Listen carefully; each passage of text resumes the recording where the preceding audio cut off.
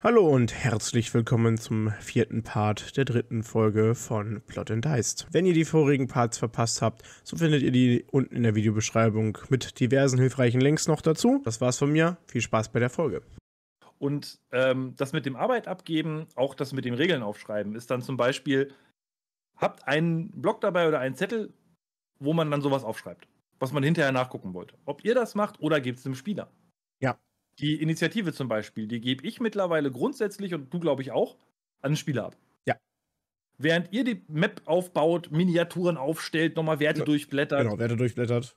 genau, sollen die Spieler, also soll der Spieler durchfragen, wer hat welche Initiative. Genau. Dann habt ihr damit nichts zu käsen, das ist erledigt. Äh, ihr kriegt dann hinterher eine Liste von ihm oder eine Magnettafel, die, haben, wir- die benutzen wir beide. Das ist ein sehr schönes Ding. Oder man macht das halt mit diesen Kärtchen. Dann kann man sich immer noch auch als Spielleiter dann überlegen, wissen meine Spieler vorher, wann die Gegner dran sind? Oder erst nachdem sie dran waren, das erste Mal? Ja. Finde ich persönlich immer schöner. Wenn die Spieler noch nicht wissen, wann die Gegner dran sind. Ja. Aber das ist auch reine Geschmackssache. Ja, ja. Ähm, das ist immer ganz interessant, dieses Aufteilen. Was ich nochmal versuchen wollte, ist, äh, einem Spieler zu sagen: Hier, dieser Mob, du schreibst auf, wie viel Schaden dieser Mob, also wie viel dieser Gegner kassiert. Okay.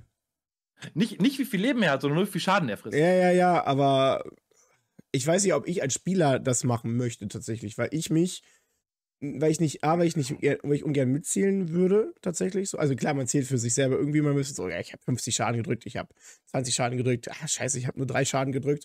Ja, aber Ähm, du zählst deinen Schaden mit, nicht den ganzen Schaden. Ja, richtig. So. Aber, aber, aber ich will mich nicht auf die, während, wenn ich als Spieler fighte, will ich mich nicht auf die Werte von Mobs konzentrieren. Auch wenn es nur dieses nebenbei ist.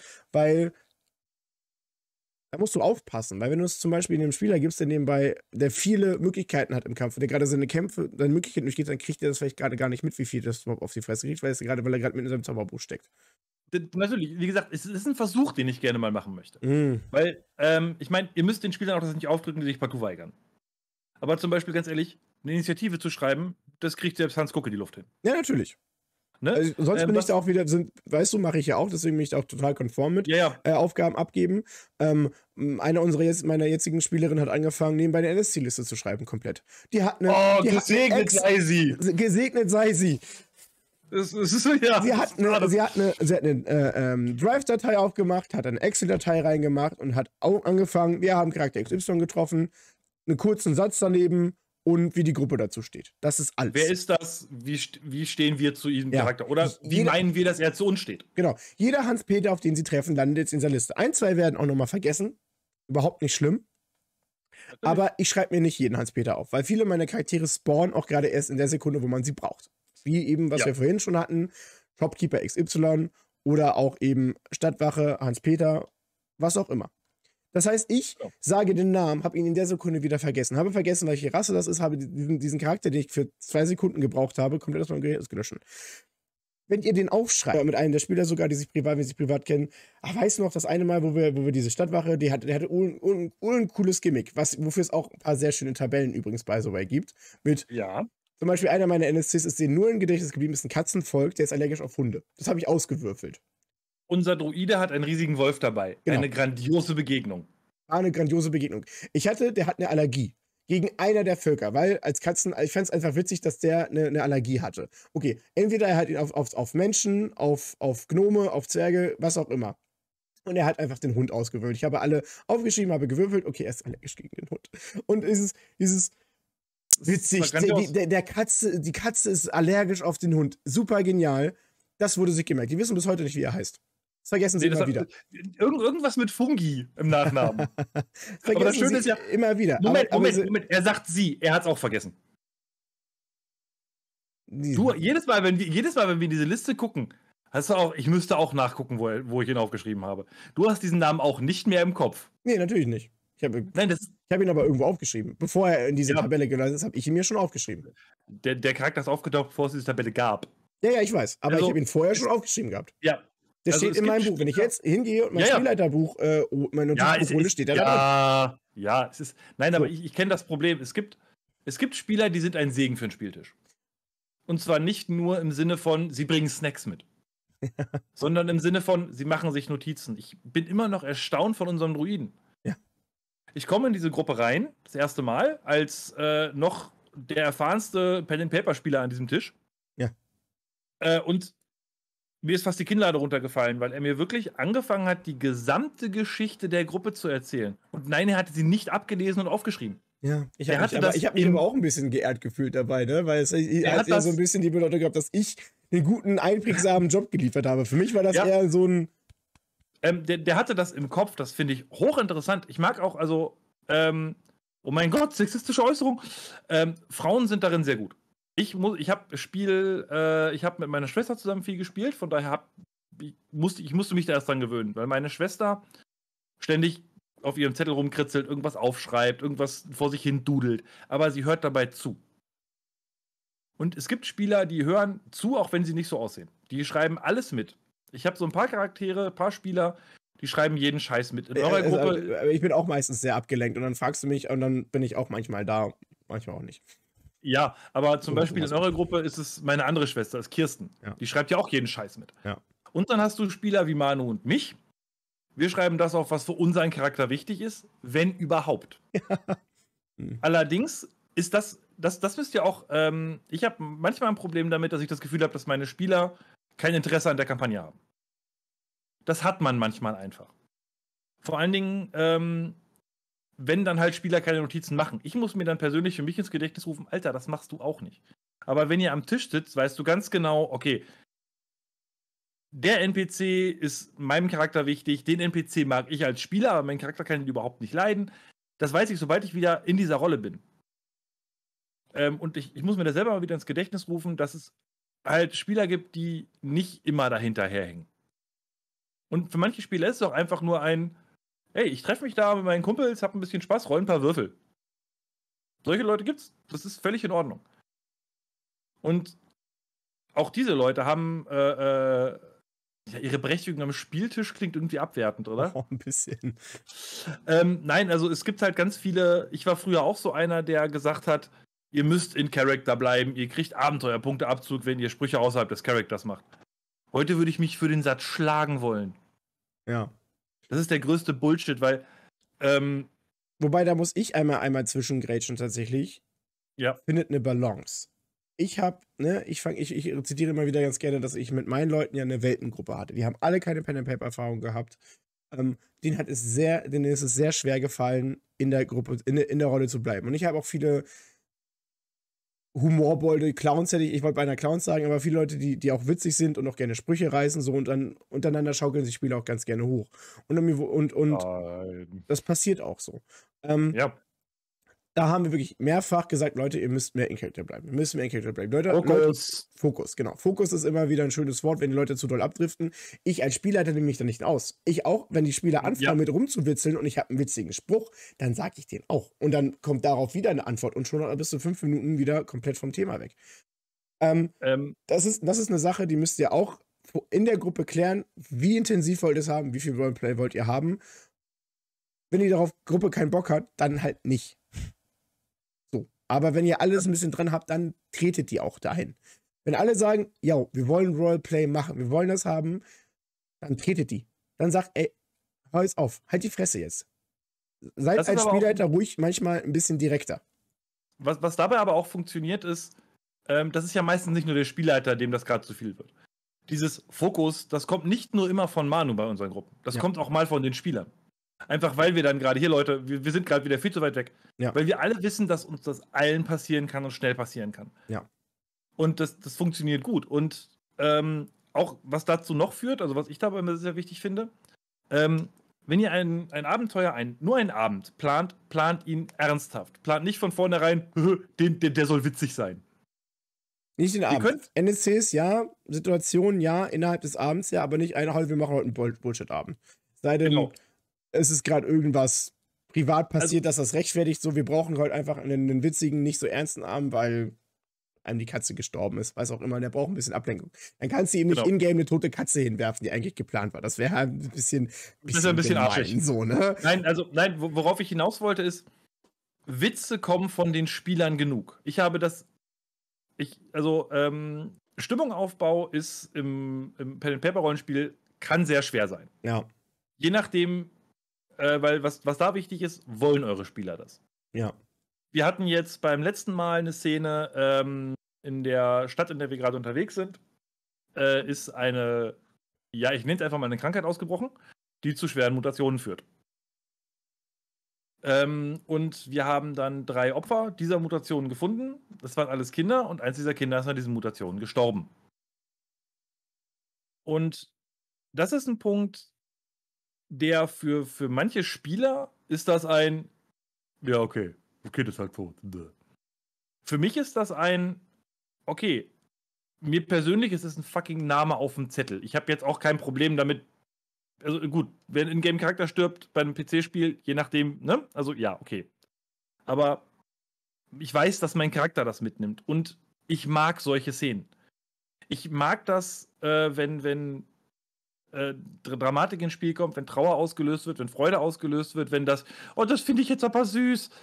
Ähm, so diese ganzen Sachen. Nur, das möchte nicht jeder Spieler.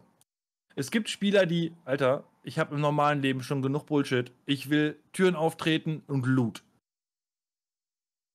Ich will Monster klatschen, ich will Gold, Loot und Ja. Weiber oder Kerle oder beides, whatever, mir Ja. egal. Ähm, So. zu, zu, der, zu der Szene noch mal ganz kurz. Ähm, es war halt auch ein, die Spieler haben das auch relativ, also ich hatte ich hatte nur noch drei Jungs da sitzen so und die drei Jungs waren halt dieses, waren halt abgeklärt so, ja okay, Kacke, Kind ist tot, die Mutter, okay, wir trösten die Mutter und die Jungs saßen da mit einem neutralen Gesicht so und, und dann fing aber an, dass sie halt in-game drauf reagiert haben so. Also ich habe die Szene reingeworfen, das, weil es irgendwie gepasst hat auch einfach und weil ich auch mal so eine Szene ausprobieren wollte, weil, weil Drama ist halt auch immer ein Ding, womit ich mich immer ein bisschen zurückhalte, weil das ein bisschen aufgebaut werden muss und wie gesagt, ich bin halt auch eher der Action-Spielleiter, habe ich festgestellt so. Ja. Und meine Spieler, wie gesagt, komplett neutral und dann hat angefangen, der Paladin hat gesagt, ich möchte mit der Mutter ein Gebet sprechen. Der äh, Druide hat angefangen, er hat angefangen, so, ja, ich möchte, der war, hat auch irgendwas mitgemacht und, und ähm, ich glaube, du hast auch noch irgendwas gemacht. So. Also, Weil als, als ähm, der Paladin anfing mit, jo, ich möchte ein Gebet sprechen. Genau, äh, da bist du, glaube ich, noch eingestiegen, so, oder irgendwie sowas war das, genau. Genau, ich, ich habe dem Gebet gefolgt und ich glaube, unser Druide hat sich um die Mutter gekümmert. Ja, irgendwie sowas, genau. Er hat ihr, glaube ich, noch einen Tee gemacht oder irgendwie sowas. Also, das, das war halt, das war wirklich reines Rollenspiel, weil wir genau, also das, das, das, das, das klingt vielleicht ein bisschen hart. Wir wussten, welche Knöpfe unser Spielleiter drücken möchte und wir haben sie ihn drücken lassen. Genau. Weil Und Im Nachhinein war es für alle eine schöne Szene tatsächlich. es war eine super Szene. Es war, also, eine, eine schöne Szene ist halt schwierig dabei zu sagen, aber es war eine sehr passende Szene. Es, es war eine, die Szene hat mir na, Spaß gemacht, ist auch das falsche Wort. Ah, ihr wisst, was ich meine. Ja. Also ich fand sie sehr passend. Es war eine sehr, eine sehr äh, ja, stimmige Szene. Stimmig. Stimmig ist ein schönes Wort. ähm, was zum Beispiel extrem schwer zu erzeugen ist, ist Horror. Vor allen Dingen, wenn man Systeme hat, die nicht darauf ausgelegt sind. Weil, wenn man jetzt Pathfinder und DD nimmt, mein Charakter derzeit in Pathfinder, ich habe ein Schwert, da steckt ein Engel drin. Das kann ich brennen lassen und ich kann Feuerbälle schmeißen. Da ist das schwierig, mir wirklich diesen Horror zu machen. Wenn ich jetzt aber ähm, ein anderes System nehme wie World of Darkness, Welt der Dunkelheit, Vampire, etc., vor allen Dingen äh, Welt der Dunkelheit, du bist ein Mensch. Ich persönlich weiß, alles, was in diesen Büchern steht, kann mich killen, instant. Und wenn man Systeme hat, wo man nicht von vornherein ein Held baut, ähm, ist dieses ganze Horroraufbauen wesentlich leichter. Was dabei hilft, ist Musik und, und allgemeine Lichtstimmung. Und sagt es vorher an. Sagt, wir wollen heute düster, ich will heute eine düstere äh, Atmosphäre erschaffen. Ich möchte heute euch ein bisschen, euch ein bisschen gruseln. Ich möchte euch damit abholen. Sagt das aber am besten nicht, wenn ihr am Spieltisch sitzt an, sondern am besten, Leute, beim nächsten Mal möchte ich gerne. Ja. Weil dann kann der Spieler gleich sagen, Alter, meine Oma liegt im Krankenhaus, können wir das mit dem Grusel irgendwie verschieben? Ja. Vielleicht ist das gerade einfach so. Ja, aber nein. Aber weil sonst, weil sonst dann versuchen, wenn ihr Liebesspiele habt und die sagen, jo, haben wir Bock, wollen wir ausprobieren, wir möchten das, wir möchten das gerne mitnehmen, ähm, dann sind die auch fokussierter am Tisch, sch- vers versuchen sich die meisten Witze zu verkneifen oder generell unpassende, unpassende Sätze mit deine Mutter oder irgendwie sowas, keine Ahnung, mit. Ja, man sagt, man sagt was da Ja. sch schleimig, tropft, bla bla, was auch immer. Die, die Spieler ähm, versuchen einmal euch da entgegenzukommen und vor allen Dingen, ich glaube, es ist für ihr eigenes Mindset auch einfacher, das in ihren Kopf zu lassen, wenn sie wissen, okay, wir wollen heute ein bisschen Horror, okay, ich versuche mir gerade in meinem, meinem, meinem inneren äh, Theater das ein bisschen krasser vorzustellen, so dass ich es eklig finde. Genau. Ähm, was da, denke ich, auch noch dazu kommt, ist als Spielleiter nicht zu viel zu beschreiben. Ich persönlich finde zum Beispiel ähm, solche Filme wie Alien, ich meine, da bin ich garantiert nicht alleine. Den ersten Alien finde ich weit gruseliger als fucking Saw. Saw ist ja auch kein Saw, ist, Horror. Saw wird als Horror gehandelt. Echt? Okay. Ja, Genau. ja, und das okay, ist, mit dem Mindset. Ja, es ist ein Mindset, ne? Ja, das, okay, das, ja, doch, genau ich das, das meine ich. Dieses, und ich persönlich habe mehr Angst vor dem, was ich nicht weiß, was ich nicht kenne, als, okay, da liegen jetzt halt Gedärme rum. Okay. Bin ich so ein Mensch Ja, für Gedärme, ist halt für mich, ja, das ist eklig, aber da habe ich keine Angst vor, das ist kein Horror. Ja. Aber es ist halt auch immer die Frage, wollen das eure Spieler? Haben sie da Lust drauf? Das ist auch was, wollen sie eine ganze Kampagne vielleicht so spielen? Ich Ja. habe zum Beispiel eine Spielerin in der einen Gruppe, sobald ich es andeute, es könnte um Horror gehen, die, die zappelt in den Sitz rum, die ist da voll dabei. Aber der Rest der Gruppe springt halt nicht so schnell drauf ein. Und vor allen Dingen eine Horrorstimmung sehr lange zu halten, ist erst recht schwierig. Weil dann müssen, also dann meiner Meinung nach müssen diese besagten Pausen kommen. Wenn man diesen zwei Stunden, ihr kriecht gerade auf eurem letzten Zahnfleisch durch dieses Dungeon und ihr habt keine Ahnung, was euch noch erwartet, wenn dann der Spielleiter sagt, so, hier ist eine Tür, wir machen jetzt eine Pause. Dann Licht an, einmal durchatmen, wieder Sprüche machen, alles, was ihr euch verkniffen habt in den letzten zwei Stunden raus, raus, raus, raus, 20 Minuten Pause, dann geht's weiter. Dann geht man wieder in die Stimmung.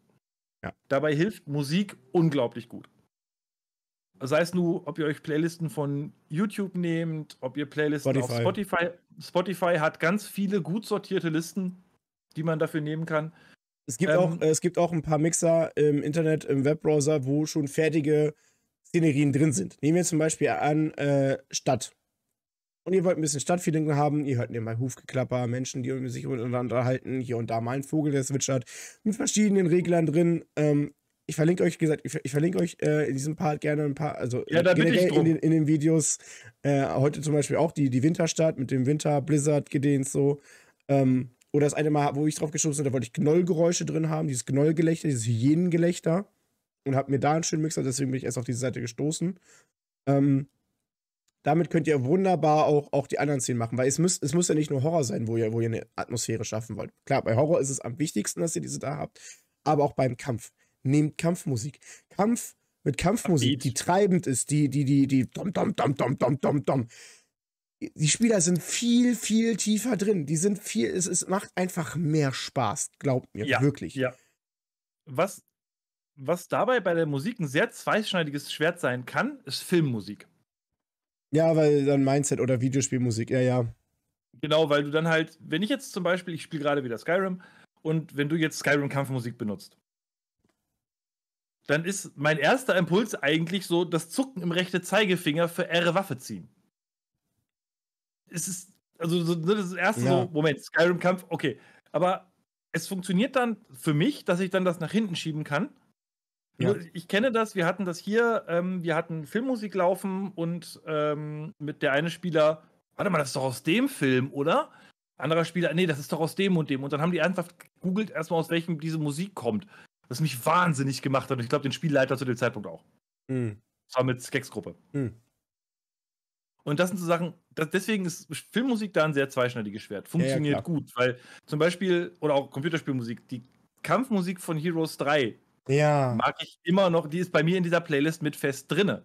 Ja. Aber Oder ich höre sie auch, auch jedes ähm, Mal und ich, ich, ich, ich, ich werfe dir auch jedes Mal nochmal so einen lächelnden Blick mit zu Ja, die Heroes-Kampfmusik. Und, man, genau. und, man, Ähm, und man, man hat sofort die Assoziation mit die- die- die- diese, diese, diese Trommeln, mit den, mit den, mit den Fanfaren Genau, dazu. genau. Und, man, und ich bin sofort, okay, Kampf, Kampf, Kampf, Kampf. Was, was ähm, schönes Beispiel dafür ist auch wieder Critical Role. Der hat, der hat sehr lange die gleiche Kampfplaylist. Und da ist ein Musikstück drin mit einem, mit einem ziemlich prägnanten Fanfarenton. Hm. Irgendwann trötet die Gruppe den Fanfarenton mit. Und das, das machen sie jedes Mal, aber es, also es, es hält sie auch weiter im Kampf. Ich, also es, es reißt sie nicht raus, die machen das halt einfach mit. Ich finde das ziemlich cool. Einfach so dieses, ich mag das. Also das finde ich sehr schön dabei. Ja. Ähm, und das ist halt, also die Musik, wie gesagt, für Horrorstimmung, für Kämpfe, auch einfach nur Hintergrundgeseier. Weil es gibt immer mal so Szenen, was wollen wir jetzt machen? Und alle sind erstmal so, scheiße. Was machen wir jetzt eigentlich gerade? Big Bad Evil ist kaputt. Wir haben gerade nichts zu tun. Was machen wir jetzt? Scheiße. Oder wir kommen gerade nicht weiter. Wir hatten jetzt diese ganze, in dieser wunderschönen Schneestadt, in der wir gerade sind, äh, hatten wir relativ viel Detektivarbeit zu tun. Und wir standen da wirklich irgendwann alle vier und fuck, wir, wo machen wir jetzt weiter? Und dann war es halt einfach ruhig. Und das Einzige, was man gehört hat, war diese Stadtambiance, die du da anhattest. Das hilft einem nicht komplett rauszufallen aus dem Ganzen. Ähm, und äh, ähm, leitet einen auch so ein bisschen äh, äh, ähm, in diesem äh, in diesem, in diesem Mindset so ein bisschen. In diesem vielleicht geistigen Raum mit ich stehe gerade in, in, in, der, in der Gosse, in der Stadt, während gerade die Laterne äh, flackert und, und es kalt ist so und dieses. Ah, warte mal, Stadt, dieses Gebäude, da war doch noch was. Genau, das, das kann helfen.